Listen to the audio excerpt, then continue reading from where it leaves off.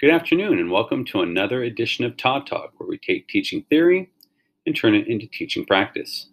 In keeping with this year's theme of enrichment activities that you can use with gifted students in order to challenge them and to think it at higher levels, um, I'm going to provide uh, another tool for your toolbox today on what you can use with students to uh, challenge them, to take things deeper within the lesson itself, and for things that they could be doing after the lesson uh, that would also be challenging for them. And so we're going to focus on what are called choice boards. So choice boards are just as they sound. They are a um, litany of activities that students can choose from. So unlike most assignments where students are given the assignment that they have to do and they, they, they have no choice in the matter, choice boards allows more choice. Uh, and this is a good thing because they're still learning what you want them to learn, but they feel like they have some say so in the matter, that they are, uh, you know, getting con- con- to control their fate in the, the classroom a little bit.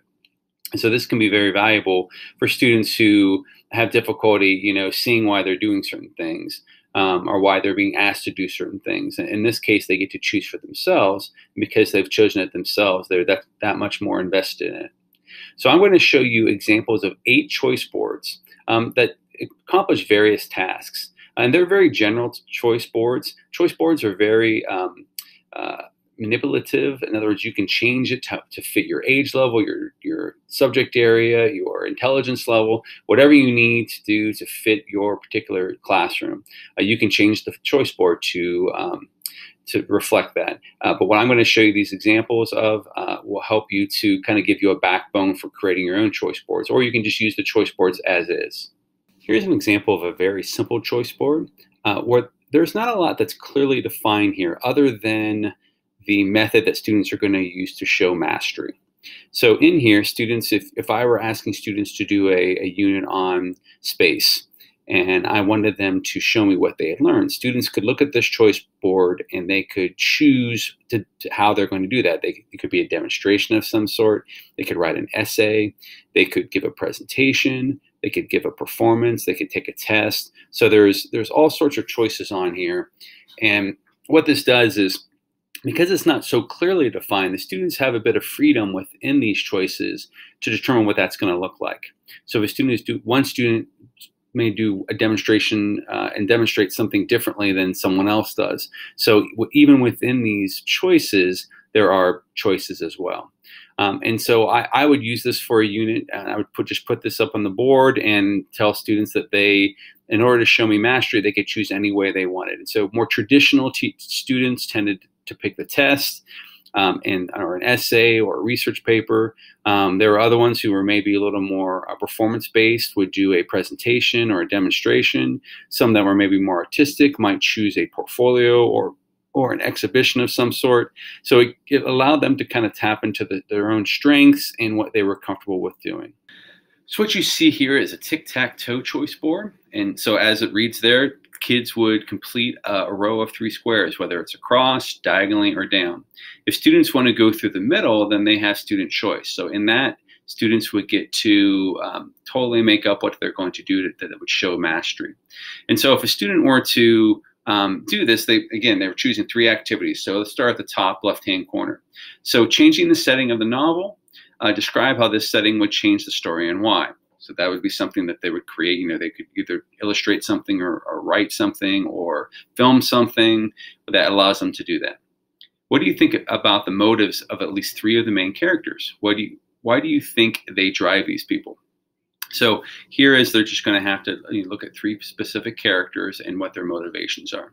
And then lastly is choose a passage and find 10 words you do not know that you think are important to what is being discussed in the passage, making a glossary so that others can reference it or create flashcards for them. And so this is a fairly simple task of finding 10 unfamiliar words and creating a glossary for it. Out of those three activities, there are three different levels of thinking going on here. So if you look at the first one, change the setting, that is creating. That's a higher level thinking skill. If you look at the one about thinking about the motives of the characters, this might be application um, or understanding uh, because they are simply using context clues from the book that that, that um, allows them to, to arrive at their answers. They might use a little of analysis if they have to make assumptions about things, but mostly logically, they're going to think a certain way. Then lastly is choosing a passage and finding 10 words. This is the remembering, so just finding words and remembering what those words are, which is a lower level. So at least one of these activities that students are going to be doing is going to be higher level, which is why a choice board like this can be a good thing because it allows students to scaffold up. So students for doing this, they might start with the, the, the far right one first, get a get remember what the terms are, then go into the motives where there's a little scaffolding up a little bit more, and then up to the higher levels, which is changing the setting. And so students could choose what it is that they want to do here. Here's a choice board that is specific to a very particular topic. So in this case, English language arts. And so in this case, they don't have to fill out a certain row or they don't have to do a certain uh, you know, sequence of doing these you might you might say choose one you might say choose several. Uh, it's totally up to you as the teacher. Uh, but all these activities are activities that are more hands-on or thought-provoking. So for instance um, if you look uh, if we're going from the, the left-hand corner down so write a letter to someone famous. So in this case they have to role play um, you know that they're writing to this person that's famous and, and what are what are they going to put in their letter the next one is create a Facebook profile for one of the main characters along with a few appropriate posts. So this makes it timely so students can, so say students are reading Huck Finn. What would Huck Finn's Facebook profile look like? What, what would posts be about? Would they be about, you know, the injustice of slavery or the South or, you know, they, they could be some really interesting posts that they students can come up with, but they have to be creative in order to do that. The next one is make a comic strip that provides the main concept of the story. So students get to be artistic in that they're drawing a, uh, you know, something and they're have to, to, but they have to also comprehend what it is they're learning. So they're putting it all together. And then last, let's plan a, last is plan a, plan a summary for what the sequel of the book would be about. So in this case, students would just have to write a description. They can take it as far as they want. They could just write a simple description. They could write a, a, chapter. They could film a book trailer. There's all sorts of things kids could do within that. Um, but again, they're not necessarily going in these rows. Uh, you may say choose three of these. Uh, you may say choose one of these.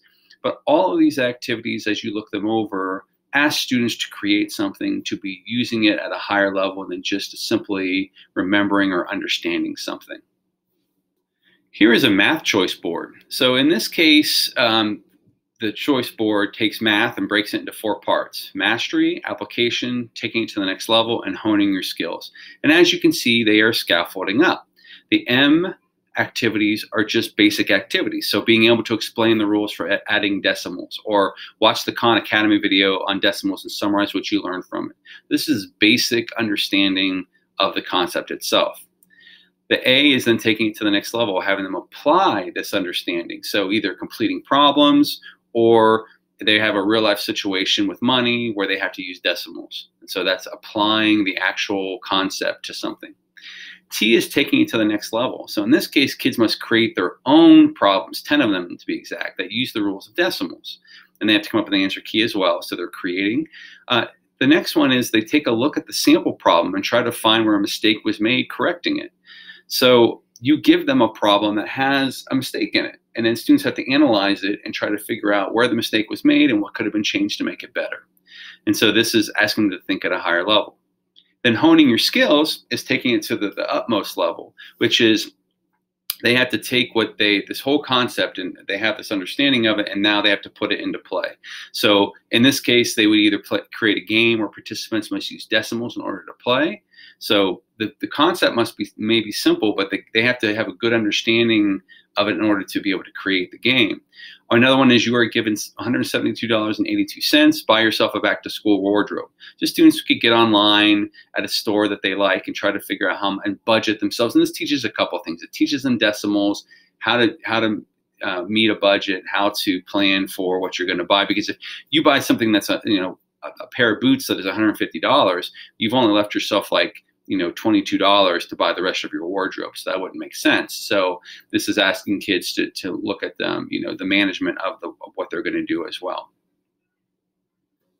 you can take your menu boards and and we've shown examples of scaffolding already but you can be more transparent about the scaffolding. So in this case, students look at this menu board and it's set up like a menu. They have an appetizer, they have to do one of those two tasks.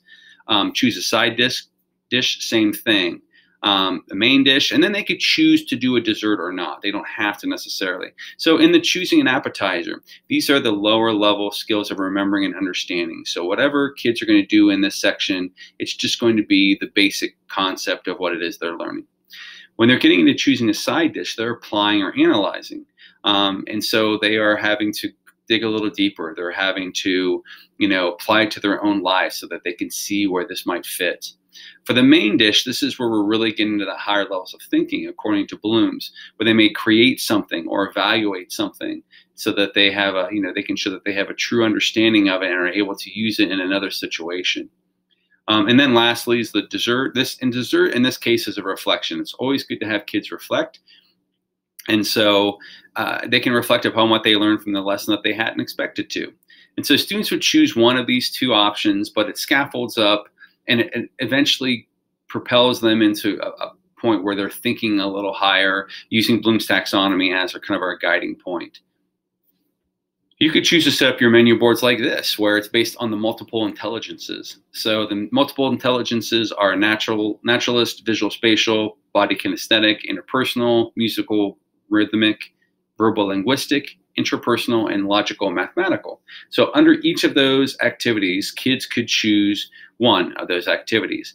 And, and they're not going to do all nine of those. Um, the, by the way, the one in the, the center, by the way, is student created, where they choose a product that is not on the choice board and they have to kind of create it themselves.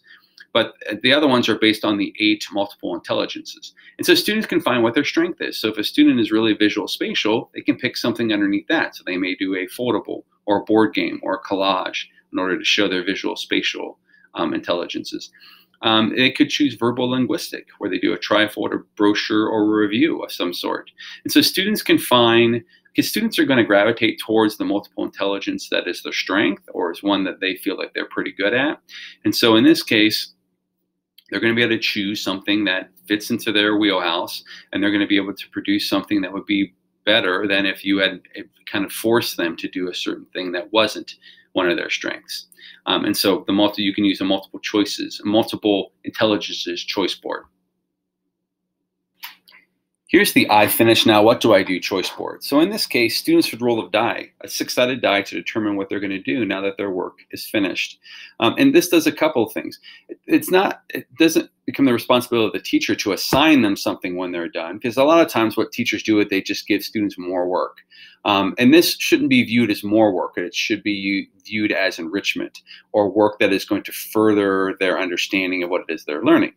And so they roll that dice, and some of these activities are very basic, like silently reading, working on brain teasers, um, you know, playing a game uh, from the game closet, but some are asking them to, to create, such as when they go to the STEM corner and build something, or if they write a book or illustrate a graphic novel.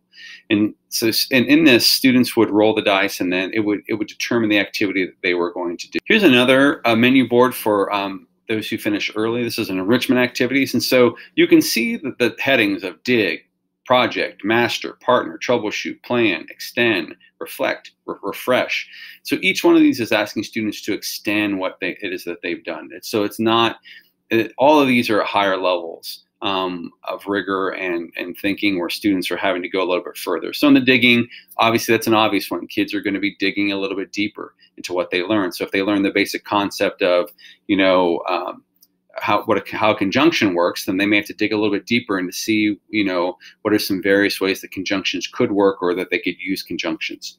Uh, the troubleshooting one is asking students to list problems with the lesson and how to fix it. So this allows them to put it back on you and to kind of critique how the lesson was and how it might be be better. And this does a couple of things. It forces the student to analyze what went on and how they could have learned it better, but it also gives you feedback on they may have some great ideas that they provide for you where you can say oh you know you know i hadn't thought about that that way and i'm glad that they pointed that out.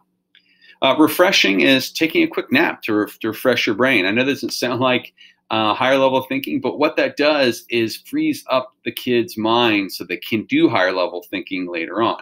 Um, i think sometimes you know we have kids sitting for eight hours a day and they can get their mind can get spent one doing that. And so they're not prepared in their later classes to give as much higher level responses as maybe their earlier classes. But taking a little nap, and studies have shown by taking a little nap and kind of rebooting your brain, uh, this can then lead to, to more productive um, responses and less and learning later on in the day.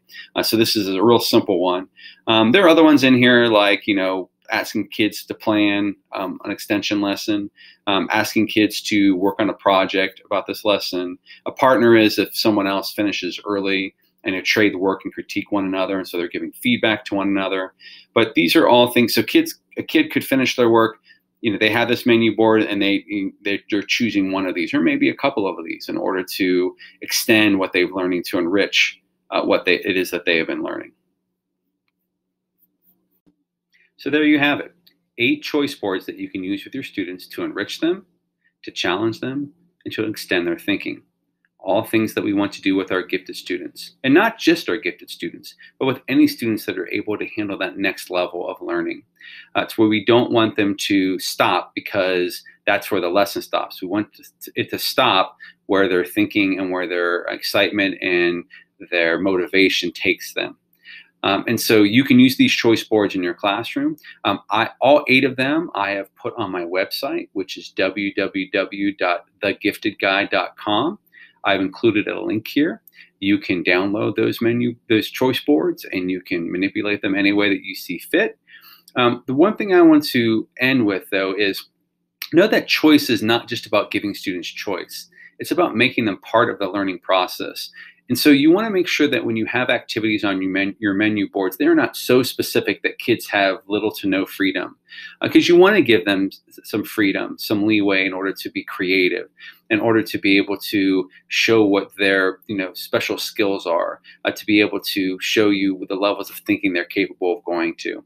Um, and so more open-ended uh, menu board choices is always good because I, I never wanted to limit my students to my own imagination, to my own thinking, because I, I realized quite quickly that they can think of things much better than I can and be more way, way more creative than I can. So I wanted to put part of that choice on, on their lap and make them responsible for their learning.